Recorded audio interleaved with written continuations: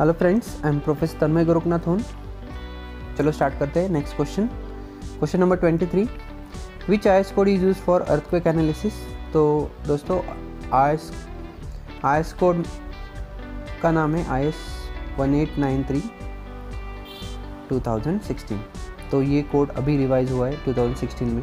उससे पहले कोड था in two thousand two and उससे पहले कोई कोड ही नहीं था. तो ओरल में हम बच्चों को पूछते हैं तो उससे पहले क्यों नहीं था? क्योंकि इनिशियली अर्थक्वेक का ज़्यादा डिज़ाइन के ऊपर ज़्यादा ध्यान नहीं देते थे। हमें पता है स्टार्टिंग में सात जोन थे, बाद में छः जोन हुए देन आठ जोन हुए थे ऐसे करके हमें इतना पता है कि पाँच जोन थे। That is zone number one two three four and five तो ऐसे पाँच जोन मतलब जोन वन मतलब सबसे safe zone and zone five मतलब सबसे डेंजरस जोन तो जोन वन मतलब एकदम सेफ़ जोन वहाँ पे अर्थक्वेक हुआ था। हमें पता है 1993 में महाराष्ट्र में लातूर का जो डिस्ट्रिक्ट है, उसमें खिलारी करके विलेज है, वहाँ पे I think third thirty eight of सितंबर 1993 को अर्थक्वेक हुआ था अर्ली मॉर्निंग चार बजे। तो that was safe zone and again 2001 में गुजरात का जो कच्छ भुज एरिया है, वहाँ पे भी अर्थक्वेक हुआ था। तो इसके बाद जो हमारे साइंटिस्ट लोग, उन्होंने डिसाइड किया कि नहीं, कोई भी स्ट्रक्चर और कौन सा भी लोकेशन सेफ़ नहीं है तो उन्होंने जोन वन निकाल दिया अभी। तो अभी आपके रिकॉर्ड के लिए बताता हूँ, अभी there only four zone zone number two three four and five तो पुणे जो सिटी है, Pune comes under zone three then suppose Delhi Delhi comes under zone four then ये जो हिमालय का एरिया या कच्छ भुज एरिया है that comes under zone five मतलब ये डेंजरस जोन होता है। एंड पुणे जोन थ्री में आता है। तो अभी जोन वन नहीं है तो 2002 में ये कोड बनाया गया था। उसके बाद क्या हुआ? अगेन 2005 में मुजफ्फराबाद है, वहाँ पे अर्थक्वेक हुआ, बहुत सारे लोग वहाँ पे मर गए थे। एंड कंटिन्यूसली अर्थक्वेक होते रहते तो फिर अगेन 2016 में उसको रिवाइज किया कोड को। तो इसीलिए ओरल में हम पूछ सकते हैं तो आपको पता होना चाहिए हिस्ट्री के लिए आपको बताया। एंड अगेन ये अर्थक्वेक क्यों होता है?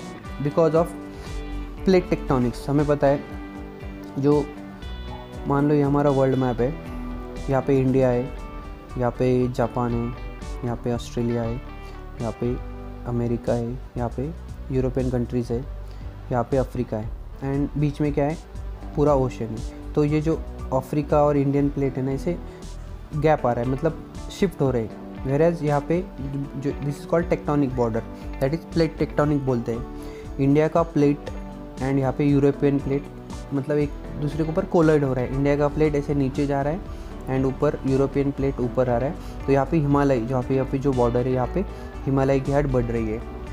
फॉर योर नॉलेज हमारा जो प्लेट है इंडियन प्लेट 40 एम mm पर ईयर शिफ्ट हो रहा है। ये नॉलेज मेरे को बताया, मैंने एक एनपीटीएल का कोर्स किया था एडवांस अर्थवेक का। तो ये वहाँ पे मैंने सीखा, इसलिए आपकी नॉलेज के लिए मैंने बताया। अगर आपको अच्छा लगे तो डेफिनेटली लाइक करो। देन यहाँ यहाँ पे जो इंडिया का, अभी मैं आपको बता रहा था इंडिया का ये मैप है।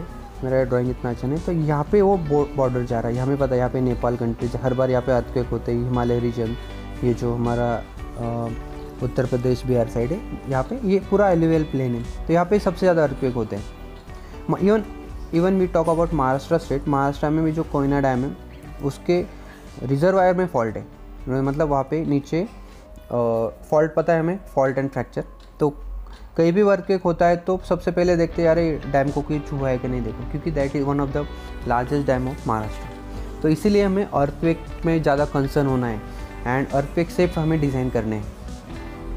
तो नेक्स्ट क्वेश्चन था, Pune city comes under which zone so obviously that comes under zone three already ये दिया है कोड में तो आप देख सकते हो।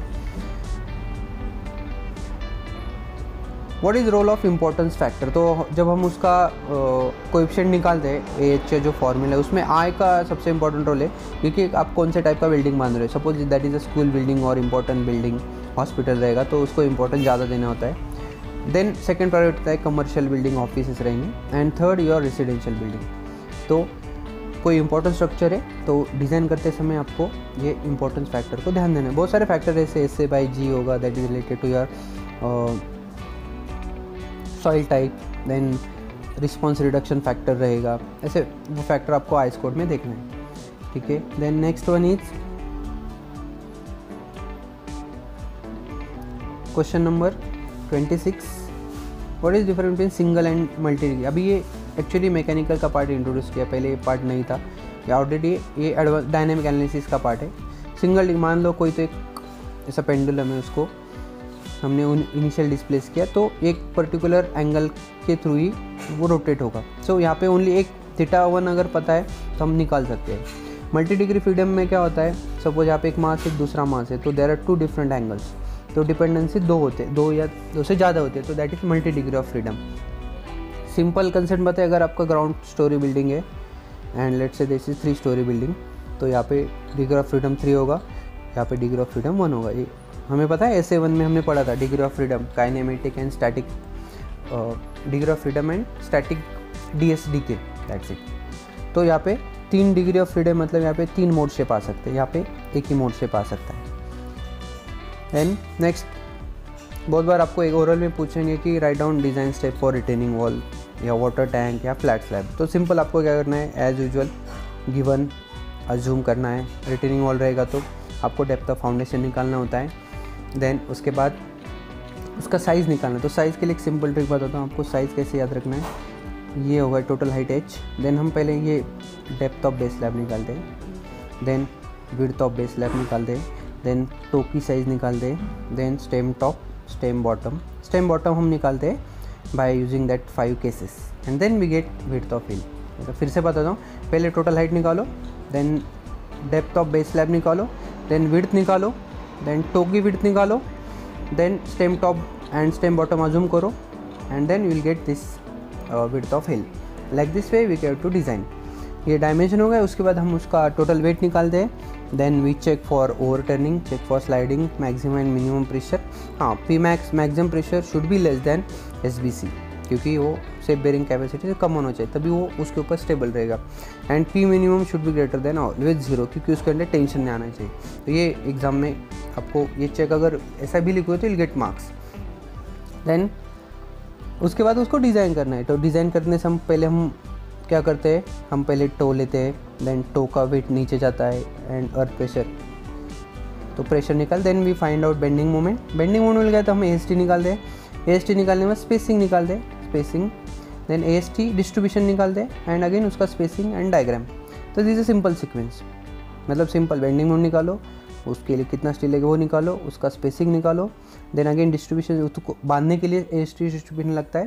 देन अगेन स्पेसिंग लगेगा and again diameter diagram that's it again ये पार्ट रिपीट होगा for heel slab and stem also तो वो कंप्लीट आपका डिज़ाइन होगा। Again in flat slab also flat slab में जनरली हमें पता है there should be minimum three panels मतलब तीन साइड होनी चाहिए। अलॉन्ग सपोज़ ये स्लैब डिज़ाइन करना है तो यहाँ पे तीन है ये यहाँ पे भी तीन है, तभी डिज़ाइन कर सकते सपोज़ आपका ऐसा है, यहाँ पे दो ही है, एक साइड तीन है, लेकिन ये साइड दो है तो you can not design flat slab तो ये बेसिक रूल है already I S four five six में दिया है तो आप वो देख सकते हो। देन उसके कोएफिशिएंट निकाल, आप इंटरमीडिएट प्लानर डिज़ाइन कर रहे हो या एंड वाला कर रहे हो तो उसका बेंडिंग मोमेंट वो सब वेरी होता है। एंड देन उसको डिज़ाइन करना है दैट्स इट देन ठीक है तो इतने क्वेश्चन सो आई थिंक आप are you happy with this question अच्छा लगेगा तो डेफिनेट आपके फ्रेंड्स को बताओ। ओके एंड मैंने बहुत सारे वीडियो बनाए regarding S D one S D two तो आप देख सकते हो। Thank you all the best